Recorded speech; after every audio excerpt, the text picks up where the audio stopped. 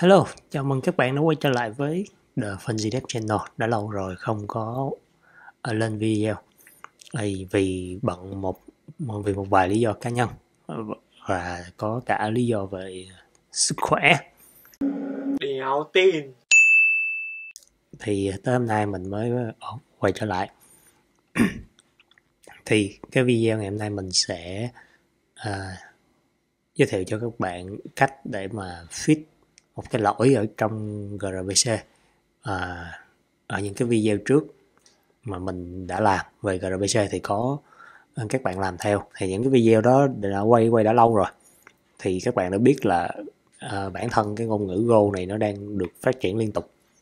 Thì à, những cái version sau này có thể là nó sẽ thay đổi một vài thứ làm cho những cái code trước đó nó chạy ok nó chạy ổn. Thì tới bây giờ nó sẽ chạy ừ, không được nữa thì một trong những cái lỗi đó mà các bạn đã phát hiện ra là một cái lỗi về handshake SSL We got a deal? Yes.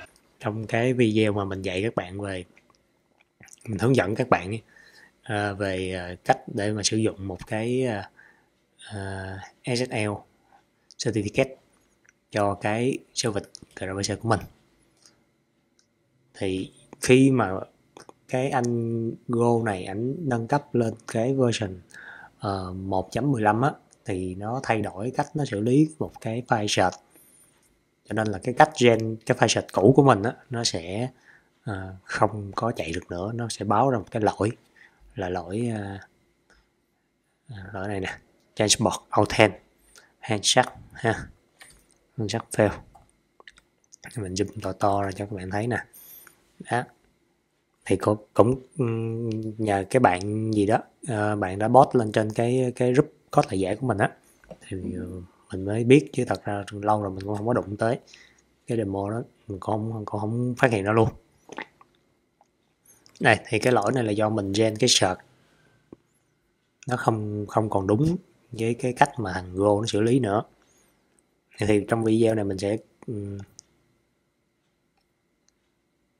hướng dẫn các bạn để cách mà mình gen làm cái sạch mới thì nó cũng đơn giản thôi.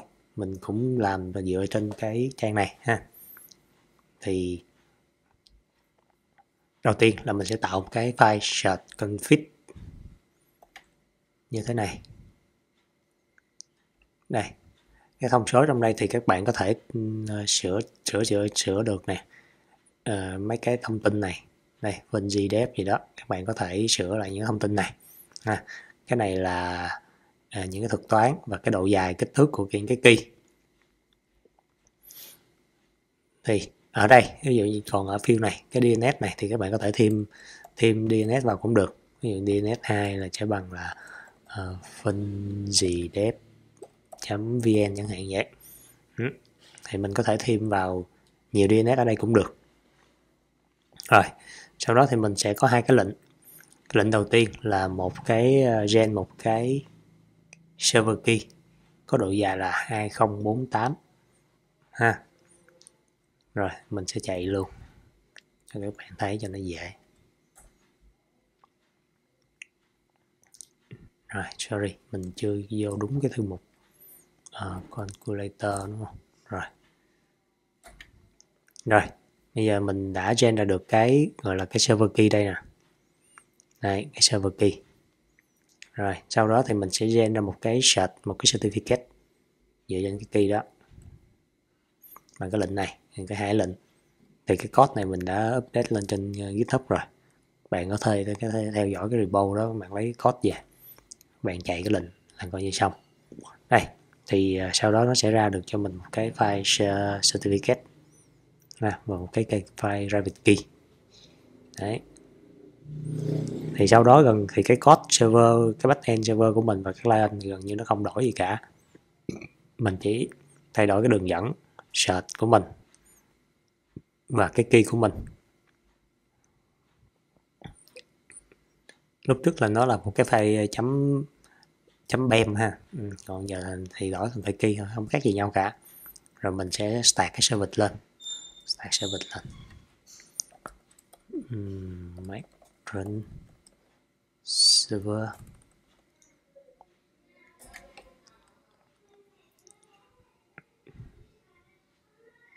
rồi cái sơ vịt nó chạy rồi. Đó. Rồi và qua tới clan thì nó cũng tương tự vậy. Nhưng các bạn chỉ cần lấy cái file sạch à, và cái cái code này nó không thay đổi nha. Đó mình vẫn sử dụng mình tạo ra một cái TLS form file và mình gọi, mình truyền vào cái transport option này thì nó sẽ chạy được ngay thôi. Rồi, bây giờ khi mà service mình đã chạy rồi, đúng không? Mình sẽ chạy cái clan của mình lên. Rồi, đấy. Rồi bây giờ nó gọi được, nó consume API và nó trả về reborn 13 thì chứng tỏ là nó đã chạy được cái service của mình ở cái chế độ là có uh, có certificate snl ha. Đó thì nó rất là đơn giản thôi không có gì phức tạp cả. Những cái lệnh này thì mình đã để sẵn nó ở trên uh, git cho các bạn lấy về cho nó dễ lệnh nó hơi dài. Mình cũng không nhớ nổi mình cũng đi copy paste của người ta thôi rồi sau khi có lệnh đó thì bạn gen được hai file và chỉ cần sửa làm chút xíu cái code cũ là nó đã chạy rồi. Cái này là không phải do code nó nó sai mà là do cái cách mình gen cái certificate lần trước nó không đúng.